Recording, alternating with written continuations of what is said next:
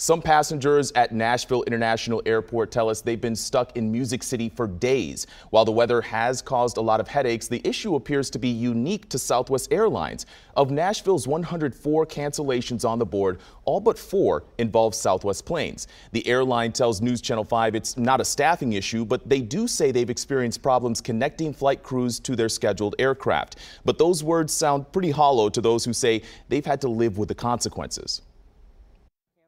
First they said they didn't have the pilot, then they said they didn't have somebody else, and they said, you know, we're just gonna cancel it. It's taken us all day to get here, and we still haven't gotten to the front desk. We understand sometimes it can be hard, but, you know, we have places to be. Southwest tells us anyone who had a flight cancellation can apply for a full cash refund or they can get travel credit that never expires. We'll have more Nashville International information coming up tonight at 6.